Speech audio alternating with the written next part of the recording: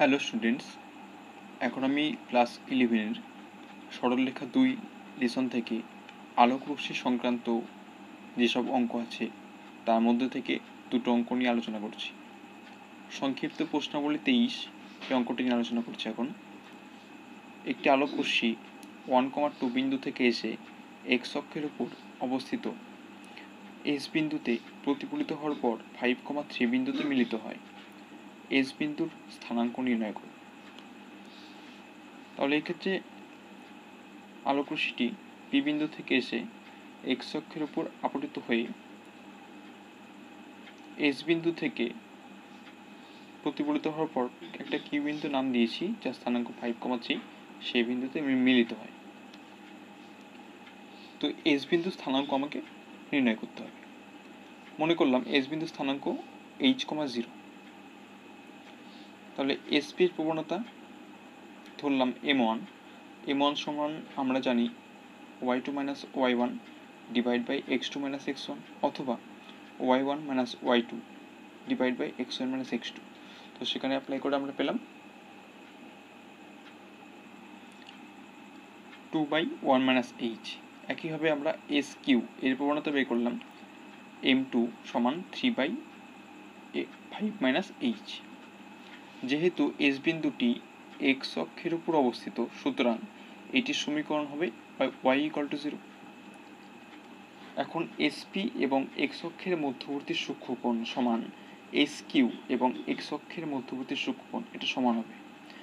কারণ যেহেতু এক্স অক্ষের সমীকরণ হয় ওয়াই ইকাল টু জিরো সুতরাং এটাকে আমরা লিখতে পারি ওয়াই সমান zero into X plus zero তাহলে এটির প্রবণতা বেরোচ্ছে জিরো তাহলে এসপি এবং এক্স অক্ষের মধ্যবর্তী সূক্ষ্মকোণ সমান আমরা একটা সূত্র জানি ট্যান থিটা সমান mod of M one minus M two divide by one plus M one M two তাহলে সেখানে M one minus M two এখানে এক্স অক্ষের উপর অবস্থিত বিন্দুটি, অর্থাৎ এটার এটার প্রবণতা জিরো সমান একইভাবে এস কিউ এবং এক্স অক্ষের মধ্যবর্তী সূক্ষ্মকোণ সেটা M two minus zero by one plus M two zero এটার মতনই এক সেম ইউজ করা হয়েছে এখানে। কারণ এসপি প্রবণতা এম ওয়ান আর এখানে ওয়াই ইকাল টু জিরো যার প্রবণতা জিরো একইভাবে এস কিউ এর জন্য প্রবণতা এম টু আর এক্স অক্ষের জন্য এখানে জিরো তো সেখান থেকে আমরা পেলাম এম ওয়ান সমান এম টু এম ওয়ানের মান পুট করলাম এম টু মান পুট করলাম। মড তুলে এখানে প্লাস মাইনাস আনলাম। একবার পজিটিভ নিয়ে কনসিডার করে আমরা পেয়েছি এইচ এর মান মাইনাস সেভেন আর একবার নেগেটিভ নিয়ে কনসিডার করে পেয়েছি এইচ এর মান থার্টি ওয়ান বাই কিন্তু এক্ষেত্রে যেহেতু আলোকরশ্মিটি এক্স অক্ষের ওপর আপতিত হয়েছে ওয়ান কমা টু বিন্দু থেকে এসে এবং ফাইভ কমা থ্রি বিন্দুতে প্রতিফলিত হয়ে গেছে। সুতরাং এক্ষেত্রে এইচ এর মান একের থেকে কম এবং পাঁচের থেকে বেশি হতে পারে না। সুতরাং এইচ সমান মাইনাস সেভেন এখানে অ্যাকসেপ্টেবল না।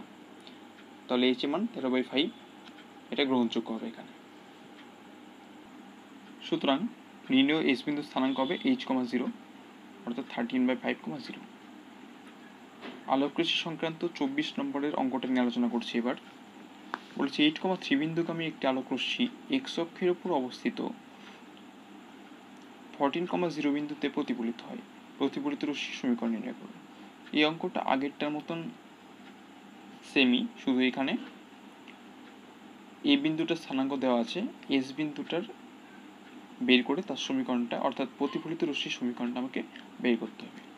মনে করি প্রতিফলিত রশ্মিটি এ এস আমি ধরে নিয়েছি, যার প্রবণতা এম টু একইভাবে আগেরটার মতন আমরা এপির প্রবণতা বের করলাম, যেটা হলো মাইনাস হাফ এবং এটি অবশ্যই এম টুর সঙ্গে সমান হবে না, কারণ প্রতিফলিত রশ্মির প্রবণতা আর এখানে এপি সরলরেখার প্রবণতা দুটো কখনো সেম হবে না।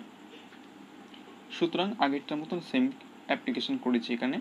এপি এবং এক্স অক্ষের মধ্যবর্তী কোণ সমান এএস এবং এক্স অক্ষের মধ্যবর্তী কোণ। অ্যাপ্লাই করে পেয়েছি মাইনাস আপ মাইনাস জিরো অর্থাৎ M one minus M two divide by one plus M one M two একইভাবে এএস এবং এক্স অক্ষের জন্য M two minus zero divide by one plus M two into zero যেহেতু আমরা ধরে নিয়েছি প্রতিফলিত রশ্মিটি, অর্থাৎ এএস এর প্রবণতা এম টু তো এখান থেকে আমরা ক্যালকুলেশন করে পেলাম মোড অফ এম টু সমান হাফ এখান থেকে পেলাম এম টু সমান প্লাস হাফ কারণ এম টু সমান মাইনাস হাফটা এখানে গ্রহণযোগ্য না।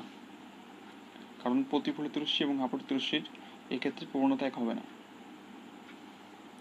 তাহলে নির্ণয় প্রতিফলিত রশ্মির সমীকরণ। এক্ষেত্রে আমরা বিন্দুটা পেয়েছি, যেটি কিনা প্রতিফলিত রশ্মিটি ফোরটিন কমা জিরো বিন্দুগামী এবং যার প্রবণতা প্লাস হাফ তাহলে আমরা একটা সূত্র জানি ওয়াই মাইনাস ওয়াই ওয়ান সমান M into X minus X one তো সেখান থেকে অ্যাপ্লিকেশন করে আমরা পেলাম ওয়াই মাইনাস ওয়াই ওয়ান মানে জিরো এম মানে half X minus X one মানে ফোরটিন তো এখান থেকে আমরা ক্যালকুলেশন করে পেলাম two two Y equal to X minus fourteen this implies X minus two Y equal to fourteen তাহলে এটাই নির্ণয় প্রতিফলিত রশ্মির সমীকরণ। ওকে, এখন আলোক রশ্মি সংক্রান্ত সরলরেখার এই দুটো অংশ নিয়ে আলোচনা করলাম।